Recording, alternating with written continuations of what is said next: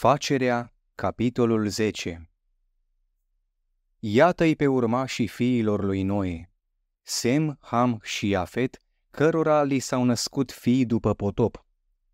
Fiii lui Iafet, Gomer, Magog, Madai, Iavan, Tubal, Meșec și Tiras. Fiii lui Gomer, Așchenaz, Rifat și Togarma, fiii lui Iavan, Elisha și Tarșiș, Chitim și Dodanim. Din aceștia s-au desprins insulele neamurilor în pământul lor, fiecare după limba sa, în triburile și în națiile lor.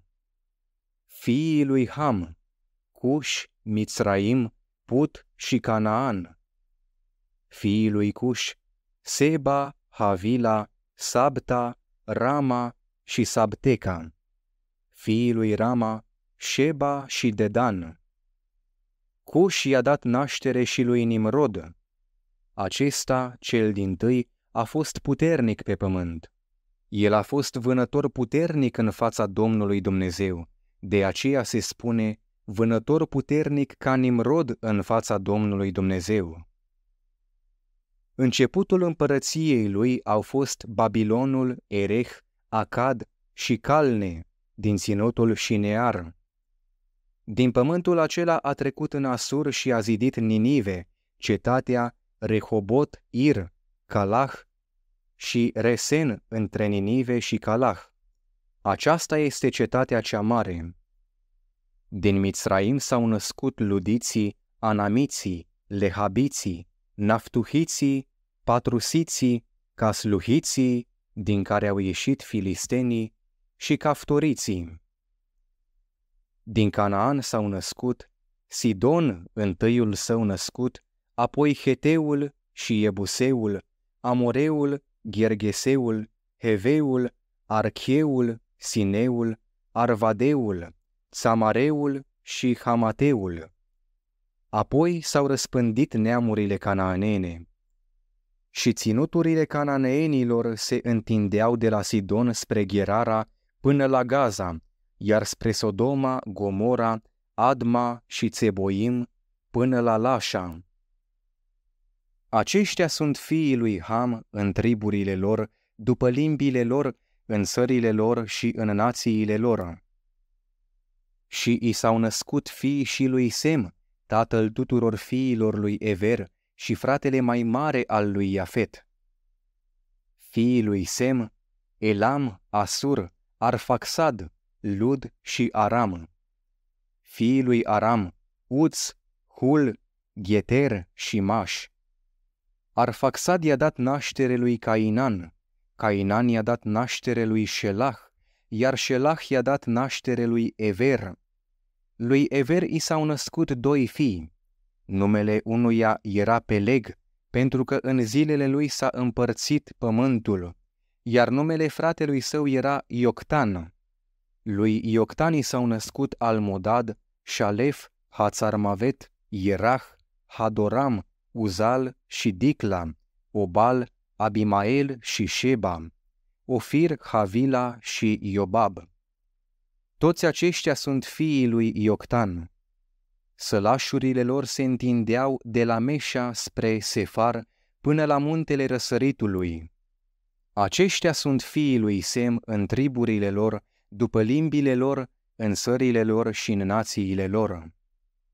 Acestea sunt triburile fiilor lui Noe, după urmașii lor și după națiile lor. Din ele s-au răspândit insulele neamurilor pe pământ după potop. Capitolul 11 Pământul întreg avea pe atunci o singură limbă și aceleași cuvinte – și a fost că, pornind din părțile răsăritului, oamenii au găsit un șes în țara Șinear și s-au așezat acolo. Și au zis unul către altul, hai să facem cărămizi și să le ardem în foc. Și au folosit cărămida în loc de piatră, iar smoala în loc de vară. Și au zis, hai să ne clădim un oraș și un turn al cărui vârf să ajungă la cer și să ne facem un nume ca să nu mai fim împrăștiați pe fața întregului pământ. Și s-a pogorât Domnul să vadă cetatea și turnul pe care îl zideau fiii oamenilor. Și a zis Domnul, iată că ei sunt un singur popor și au toți o singură limbă. Și acesta e doar începutul a ceea ce vor face. De acum nu se vor mai opri de la tot ceea ce și-au pus în gând să facă. Hai să ne pogorâm acolo și să le încălcim graiul, pentru ca unul altuia să nu-și mai înțeleagă limba. Și de acolo i-a împrăștiat Domnul pe fața întregului pământ și ei au încetat să mai zidească cetatea și turnul.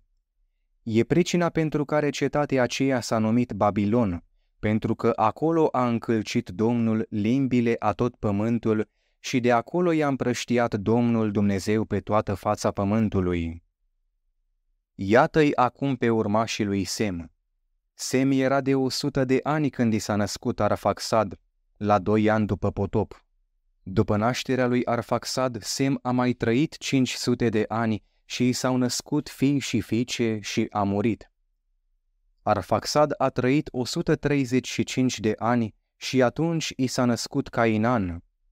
După nașterea lui Cainan, Arfaxad a mai trăit 330 de ani și s-au născut fii și fiice și a murit.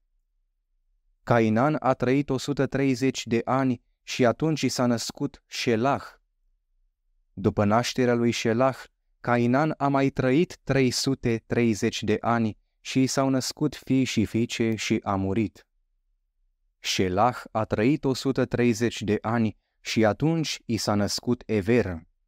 Iar după nașterea lui Ever, Shelah a mai trăit 330 de ani și i s-au născut fii și fiice și a murit.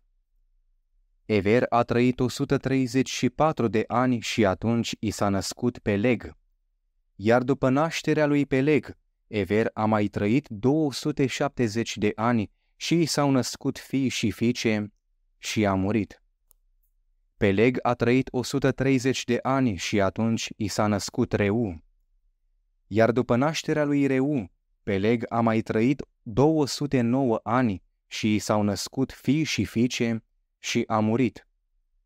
Ragav a trăit 132 de ani și atunci i s-a născut Serug.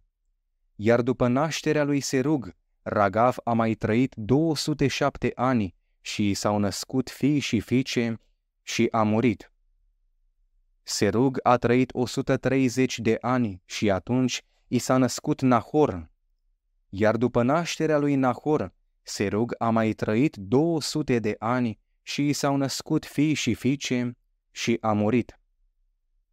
Nahor a trăit 79 de ani și atunci i s-a născut Terah.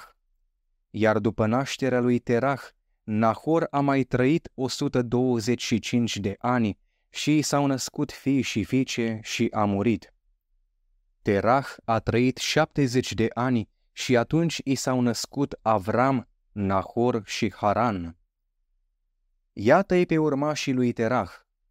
Lui Terah i s-au născut Avram, Nahor și Haran. Haran i-a dat naștere lui Lot. Haran a murit în fața lui Terah, tatăl său, în pământul său de naștere, în urul caldeilor. Iar Avram și Nahor și-au luat femei. Numele femeii lui Avram era Sarai, iar numele femeii lui Nahor era Milca, fata lui Haran, tatăl Milcăi și al Iscăi. Sarai era stearpă și nu năștea copii.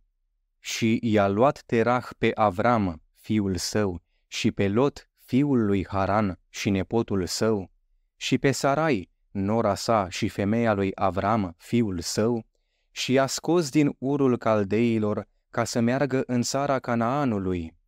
Și i-au mers până la Haran și s-au așezat acolo.